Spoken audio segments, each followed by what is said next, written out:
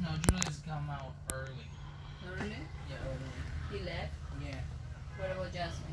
Uh, I did not see that.